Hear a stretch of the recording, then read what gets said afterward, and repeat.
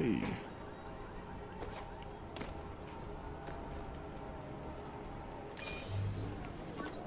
Your dad and I fell asleep listening to this sound every night when we were kids. It's got a good beat. Okay. Something rhythmic that was around when Dad and Uncle Aaron were little. Yeah, that's it.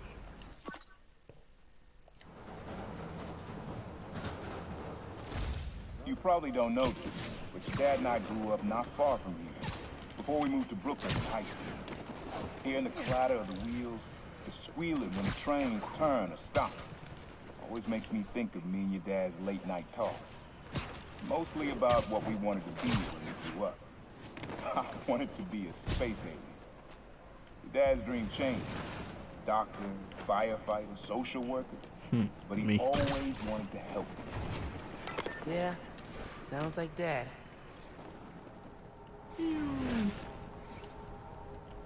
Also Christmas tree. Your mom lived here right after college. You know that? She and your dad were dating. Three of us spent a lot of time here. We got used to this soft, steady beat. Soft beat.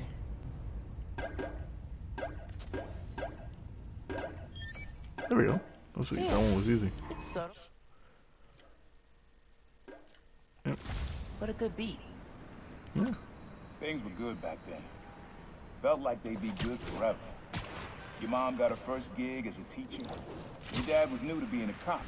And I just started calling myself the Prowler. Well, I figured we all kept secrets about our jobs.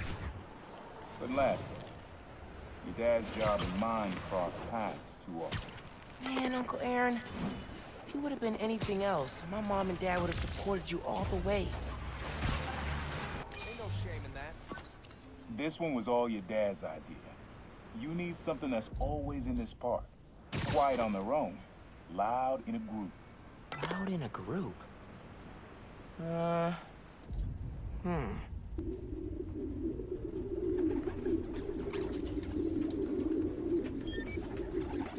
How did Dad record this?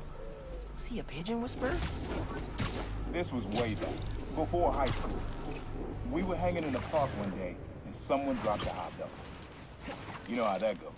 The place was swarming with pigeons. Dad stopped cold. He said, Aaron, man, that's music. Listen. Next day, we were crawling all over Manhattan looking for beats. Like you are now. I remember the first time they showed me how to sample. Uncle Aaron had the gear, and Dad had the ear for music. This is a good one. Me and your dad used to hang around here. Listen while the whole station came alive. That's what you need. Something at the station. Fire station.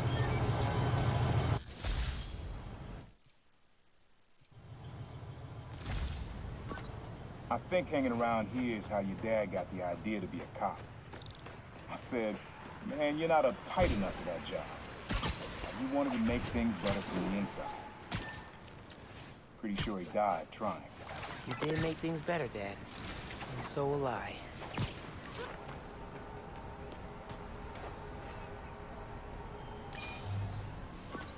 Times Square. Easy to find someone in the crowd here. Or lose him. Sound you need's like an electric current. A current.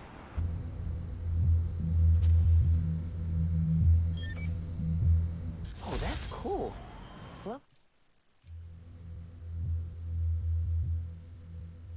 Alive that feels. After I started calling myself the Prowler, met my first client right under this sign. My flag's hard to miss, and the crowd makes it easy to blend in. She wanted me to steal a painting. I looked across the square and saw your dad looking back. Never said anything, just turned and left. He didn't know everything, just that I was a thief. That was enough. I think he saw where we were headed long before I did. If you would have tried to act right sooner, he would have forgiven you. I know he would have. This sound always feels like someone celebrating, even when it's just telling time. Your dad thought so too, so he had to include it. A sound that tells time. Okay. That's it. Ringing on the hour. When I hear those bells, I remember the last time I was here. Your dad had just graduated from the police academy. I didn't go to the ceremony, so I met him here after. Bought us milkshakes. Strawberry for him, peanut butter for me. I don't know why I remember that. He said he couldn't cover for me anymore if I got in trouble. I told him I was done with that life. I was lying. He believed me for a while. At least pretended to. Man, things got complicated between them. This plaza and the blocks around it are alive with sound. What you're looking for is light, distinct. Light, huh? Okay.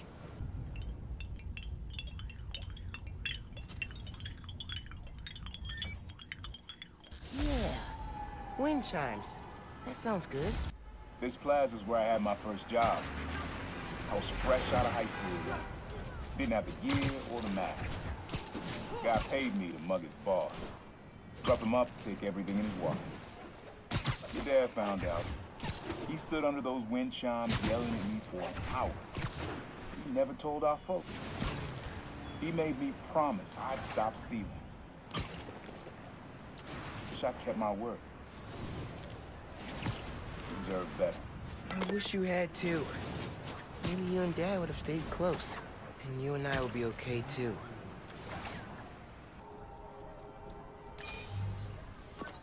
Have fun with this one. I had a repeat client I always met here. Got real used to waiting, listening, hearing this sound running on a tight schedule. A sound on a schedule. I were Uncle Aaron sitting and listening.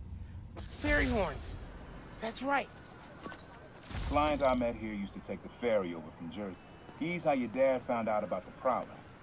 Not that it was me, but that a thief was making it big in New York, and your dad volunteered for the case.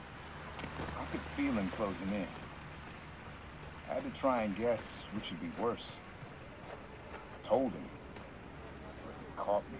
That'd have been me. I... I don't know what I'd do. That can't be the only reason Dad cut him off. Not if he fessed up. It just wasn't Dad. Hey, young blood, you got almost everything you need for the trap. Just unlocked the spot where you can find the last piece. Hope it works for you. I don't know. After everything with Krieger, it's fine. I'll keep my guard up.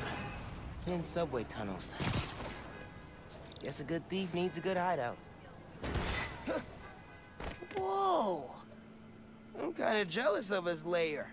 A lab. A basement thing.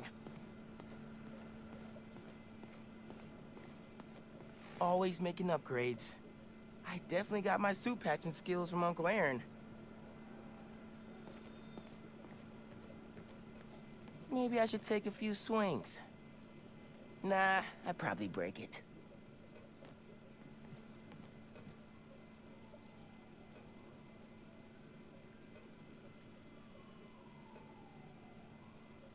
Use the sounds.